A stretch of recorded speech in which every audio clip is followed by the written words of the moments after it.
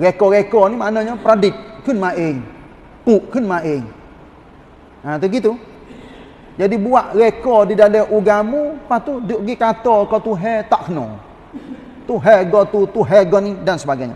Atau orang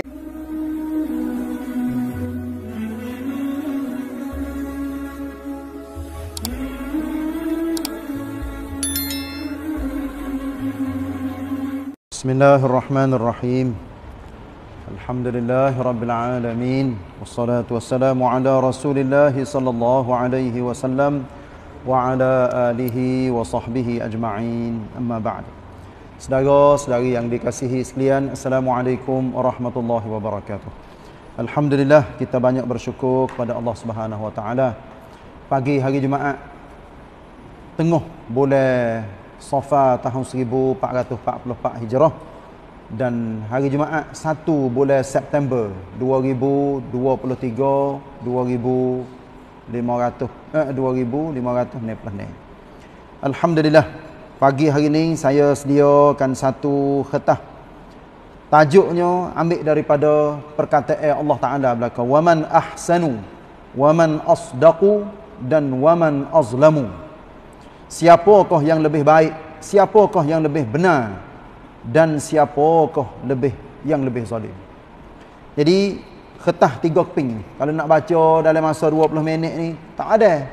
Maka kita pilih-pilih apa yang ada di dalam ayat-ayat dan akhir sekali iaitu hadis Nabi sallallahu alaihi wasallam. Kita ambil nombor satu dulu deh. A'udzubillahi minasyaitonirrajim. minasyaitonir rajim wa man ahsanu minallahi sibghah wa nahnu lahu abidun. Suratul Baqarah ayat 138. Maksudnya agama Islam yang kami telah sebakti dengannya. Sebakti ni maknanya kelun yang kita duduk amat percaya dan yakin dengan Islam. Ialah celuk pe Allah. Maknanya Allah Taala wujud kita ni hamba dia dengan dia celuk cum masuk di dalam Islam. Sengaja je pilih kita untuk jadi orang Islam. Yang dicorokkan seluruh kehidupan kami dengan corok Islam.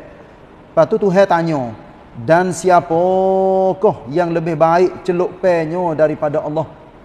Siapa lagi hak pilih manusia nak jadi Islam ni? Tak ada dah. Lebih daripada Allah Taala lah. Sebab lebih daripada sekerak dunia manusia jadi kafir. Tapi dia pilih sebahagian daripada hamba-hamba dia jadi orang Islam, jadi orang beriman. Sedangkan kepadanya lah kami beribadat. Ha, ini kita mengaku bahawa kita adalah uh, Muslim, mukmin dan kita beribadat kepada Allah. Gi kepada yang kepak dah. Ha, kena lakoh-lakoh gitu. Lepas tu baca sendirilah. ومن أحسن قولا ممن دعا إلى الله وعمل صالحا وقال إنني من المسلمين Surah Fussilat ayat 32 Dan tidak ada yang lebih baik perkataannya daripada orang yang menyeru kepada mengesahkan dan mematuhi perintah Allah Maknanya manusia di kalangan ramai-ramai manusia ada orang yang seru manusia kepada agama Allah. Siti Aisyah radhiyallahu anha dia katanya ayat ni tem-tem kepada nabi. Sebab nabi lah orang yang menyeru manusia supaya beriman, beramal soleh, supaya baik dunia dan akhirat. Ha, maka kita pun macam itulah juga. Nah, kita jadi kita misuan dalam ha nak seru manusia menjadi berjuruh menjadi baik. Serta ia sendiri mengerjakan amal yang soleh. Bukan pandai royak kepada orang saja tapi jangan jadi orang yang tak pandai amal. Royak ke orang serta dengan kita sendiri pun amal kita buat. Insyaallah dah. Lepas tu sambil berkata. Sambil berkata ni naik anak diaukan naik wela diaukan sesungguhnya aku adalah dia kata apa? Sesungguhnya aku adalah dari orang-orang Islam yang berserah bulat kepada Allah. Alhamdulillah.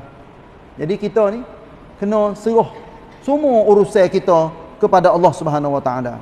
Mari pula ayat waman asdaqu. Waman asdaqu ni makna apa? Siapakah yang lebih benar? Ha ni adanya beberapa ayat di dalam eh, dua ayat ni waman asdaqu Allah Taala firman saya ambil ayat yang kedua ni والذين آمنوا وعملوا الصالحات سندخلهم جنات تجري من تحتها الأنهار خالدين فيها وعد الله حقا ومن أصدق من الله قيلا سورة النساء آيات 122 nak di asdaqu situ sebagai dalil tak Dan orang-orang yang beriman serta beramal soleh kami akan masukkan mereka ke dalam syurga yang mengalir di bawahnya beberapa sungai. Alhamdulillah. Hak ni kita yakin belaka ni. Mereka kekal di dalamnya selama-lamanya sebagai janji Allah yang benar.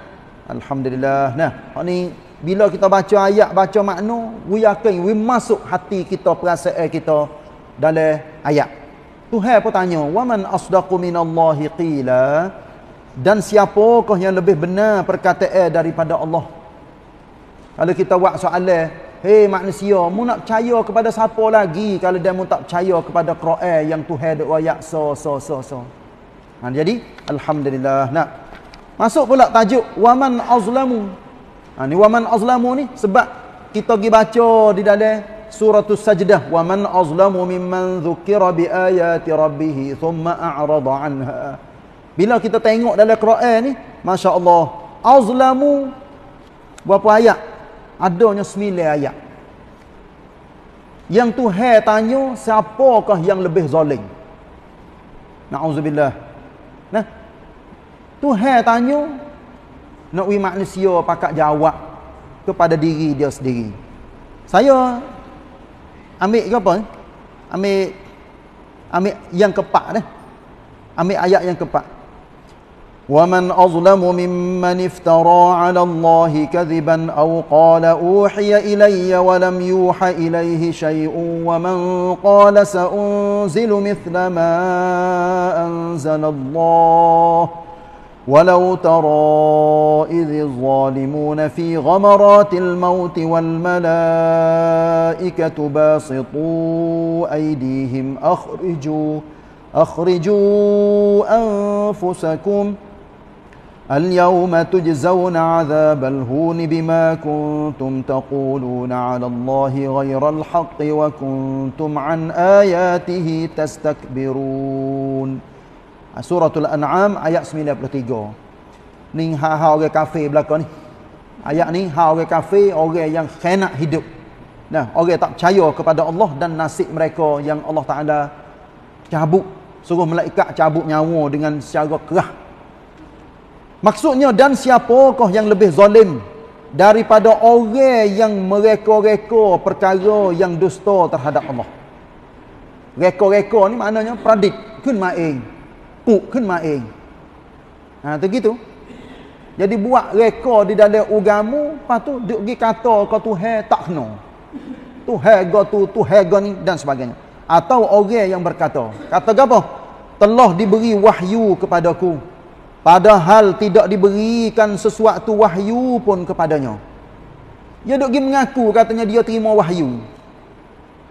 Ha, ni saya biasa sebut dah di dalam apa ni? Dalam dalam duk duk duk, duk royak ayat-ayat Quran. Wallahu alam lah zaman-zaman lah ni ada ke tak. Tapi zaman dulu pada sikit, dulu sikit lah. Belum pada kita ni. Berlaku di Kelantan. Iaitunya seorang yang bernama Arifin. Orang panggil dia Ayah Peng. Ayah Peng ni dia mengaku katanya dia satu lati yang dia terima wahyu daripada Allah Taala doi trom. Saya tengok dalam YouTube dia royak sendiri katanya dia mengaku dia boleh kecek dengan Allah Taala tuk wela. Lepas tu yang nampak Allah de depan. Ha tengok. Ni orang panggil lati yang salah. Lepas tu bukan sikit orang hak jadi semun jadi masuk semacik Masya Allah. Tu ajari ayah peng tu panggil. Dah ni, tak ada dah. Tapi boleh jadi serepih-serepih. Hak pasal kapoh-kapoh. Tu ada lagi. Setengah-setengah orang yang pasal mikir pelik-pelik. Boleh jumpa dengan Tuhan doi trong. Boleh terima wahyu. Padahal Tuhan kata kan? sedangkan padahal tidak diberikan sesuatu wahyu pun kepadanya ni galiknya orang pasal ajaran sesat yang dia mengaku gotu duk dakwa gotu kan dan sebagainya dan orang yang berkata aku akan menurunkan ayat atau hukum seperti yang diturunkan yang diturunkan Allah tengok ni dia mengaku siapa kau aku nak buat turun ayat supaya Quran ni kalau kita tengok dalam tafsir ni, orang-orang zaman dulu, zaman Nabi, yang dia nak cabar Nabi, tatai Nabi. Eh, mung Muhammad, mung orang tak mengaji. Tapi gano mau duk pergi baca benda pelak-pelak. Nanti aku nak aku nak lebih pandai pada mung lagi. Ha ni, orang-orang hok pasal kedai-kedai duk lawan Nabi di zaman tu. Dan sungguh ngeri. Nah, ni tu saya kata. Ngeri-ngeri ni maknanya takut, gerung. Sungguh ngeri sekiranya engkau melihat ketika orang-orang yang zalim itu pada penderita eh sakaratil maut. Tekah nak mati duk ngak ngak ngak ngak ngak ngak orang apa saya duk kecek lagu tu masa duk hidup atas dunia. Gapo ketika hendak putus nyawa sedang malaikat-malaikat pula menghulurkan tangan mereka.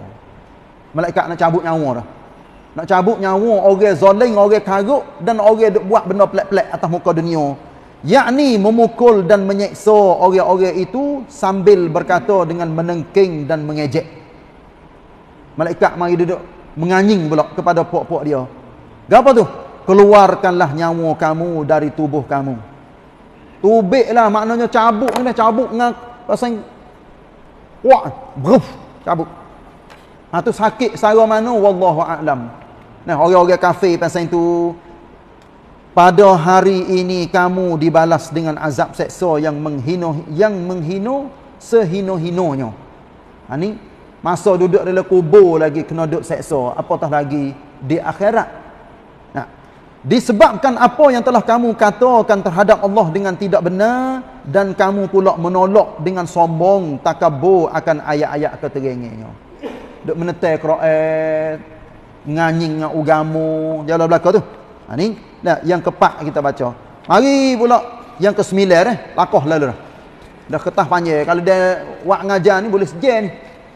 Yang kesembilan, "Wa man azlamu mimman iftara 'ala Allahil kadhiba wa huwa yud'a ila al-Islam. Wallahu la yahdil qaumadh zalimin." Ayat 7.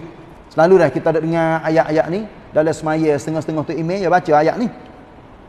Maksudnya dan tidak ada yang lebih zalim daripada orang yang mengada-ngadakan perkara dusta terhadap Allah.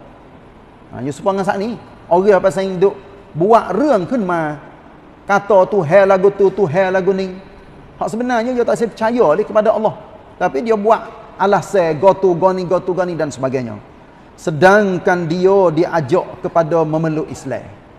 Ha, maknanya, walaupun dia duduk di dalam cemar, duduk dalam karuk, ada orang duk pergi royak kepada dia.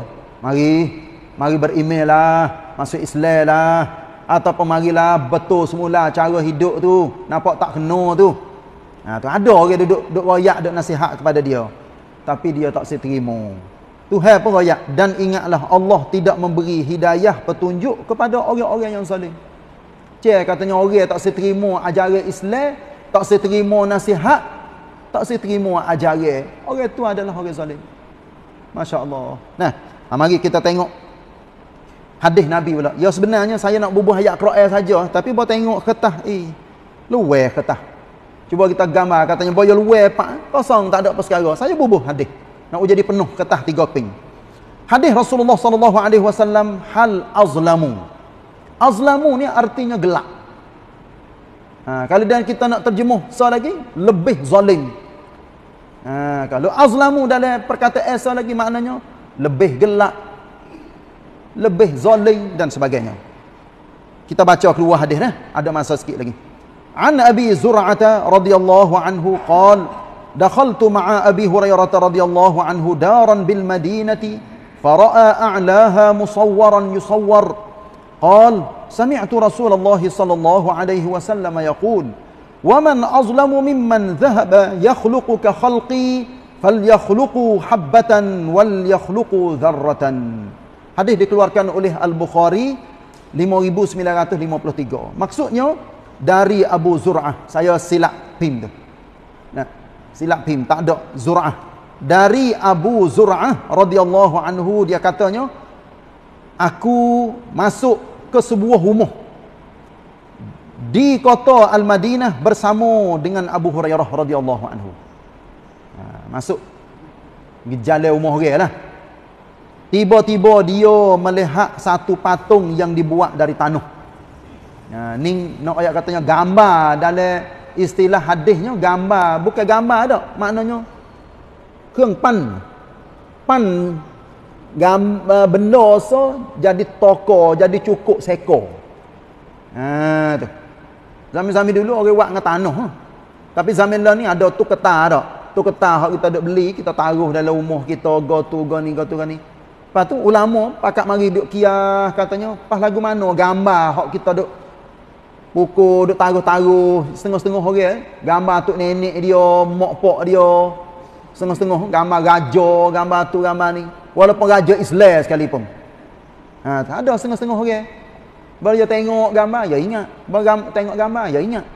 Ha, ni istilah gambar. Tapi dalam hadis ni, iaitunya benda yang tokoh yang dibuat. Maknanya ada bayar lah kalau dia kita suluh tu. Gon ni dia ada bayar dia. Ni benda yang berlaku di di Madinah pada zaman itu. Lalu itulah Abu Hurairah bawa masuk dalam rumah tu, dia kata kan, aku pernah mendengar Rasulullah sallallahu alaihi wasallam bersabda. Siapakah yang lebih zalim daripada orang yang membuat makhluk seperti makhlukku? Ha ni Allah Taala wahyukan kepada Nabi, Nabi royak tak sewi jadi kita ni duk gi pan sosokaro cukup seko sebab tu ulama katanya boleh kita nak buat tapi jangan we cukup sore jangan we cukup seko hak kita pan sat ni nah dah cukup seko Tuhan dia suruh kita bubuh roh ha cuba membuat we jadi roh ada di dalam benda tu dan dah cukup seko dah hendaklah mereka membuat satu biji kecil yang bernyawa lagu mana eh? Antara buat. Apa tu? Habbah. Habbah ni maknanya apa? Butir. Butir kecil-kecil. Hatera mu buat. Aku jadi nyawa. Supaya apa kali kali kita tengok. Lalak, baring, nyamuk. Benar kecil. Kuasa tak manusia nak buat. Aku jadi benda tak nyawa. Aku jadi nyawa. Memang tak boleh sama sekali. Tuhan katakan ni. Lambik Nabi sebut tak? Hendaklah mereka membuat satu benda kecil yang bernyawa. Iaitunya zarrah. Zarrah ni kalau lebih kecil lagi daripada habbah. Kalau habbah tu maknanya sebutir-sebutir kecil-kecil supaya butir lengur. Apatah lagi benda hak kecil. Supaya, supaya benda hak hidup kita kena tengok dengan mikroskop tu. Kena tengok dengan kelong colatan jadi hidup kecil-kecil-kecil-kecil. Ha ni nak ayat katanya. Jangan sama sekali duk pergi buat benda-benda hak pasal toko cukup seko.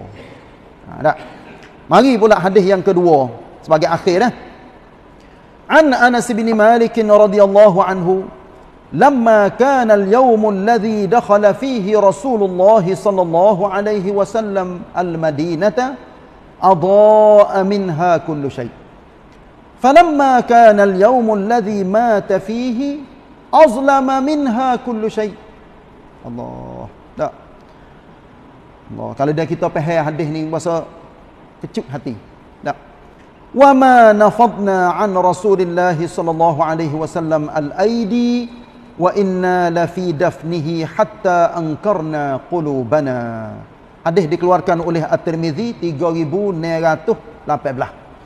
Maksudnya dari Anas bin Malik radhiyallahu anhu berkata, pada hari Rasulullah sallallahu alaihi wasallam sampai ke kota Al-Madinah. Cuba kita gambar katanya Nabi hijrah daripada Mekah gi sapa ke Madinah. Anas ni dia duduk di Madinah, dia orang Madinah. Anas budak kecil Budak umur lebih kurang 10 tahun. Dia sendiri pergi menyambut Nabi di di luar kota Madinah. Orang Madinah ni pakak duduk tunggu-tunggu ketibaan Nabi. Anas royak katanya, segala sesuatu bercahaya dengan sinarannya.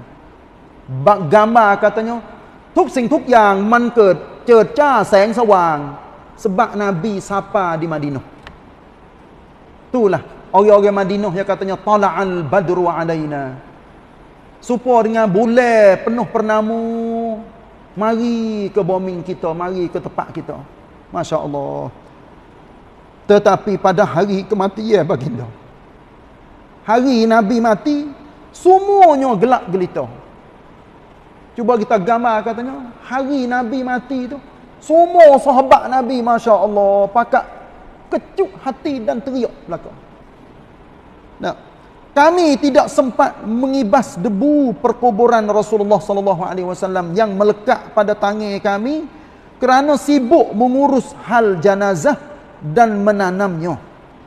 Nak ayah katanya, orang pakat kecek tak putus-putus. Eh, Nabi mati ke? Eh, Nabi mati ke? Pakat teriak. Orang, Masya Allah. Ni di kota Madinah. Tu kita buat soalan ni. Siapa jadi tu imej semaya jenazah Nabi? Jawab pe katanya tak ada. Masing-masing pakat masuk semaya. Orang tino, orang jatuh. Mula-mula orang jatuh masuk semaya. Sikit-sikit. Dah bilik eh. Bilik Siti Aisyah. Cuba kita gambar. Bawa lepas pada tu orang-orang tino. Bawa lepas pada tu budak-budak. Masuk semaya. Cuba kita gambar. Nak boleh sudah semaya mayat Nabi tu lama mana. Lepas tu ditanilah di situ. Semua Nabi, semua Rasul. Dia mati mana maka di situlah tempat kubur dia. Tak boleh. Ambil mayat kita lain. Lepas tu Allah Ta'ala. Ni Nabi sebut di dalam hadis. Semua mayat Nabi Allah Ta'ala haram bombing makan mayat. Duk hidup-hidup. Supaya ngaduk tidur. Semua Rasul, semua Nabi. Berapa orang? 124 ribu orang. Nah, tu cuba kita gambar katanya Rasul-Rasul dan Nabi-Nabi yang Allah Ta'ala latih sebagai duta Allah di atas muka bumi. Wallahu a'lam. Wa sallallahu ala nabina Muhammad wa ala alihi wa sahbihi wa sallam. Wassalamualaikum warahmatullahi wabarakatuh. Lepas tu esok, saya tak ada dah. Saya dah kerja sikit.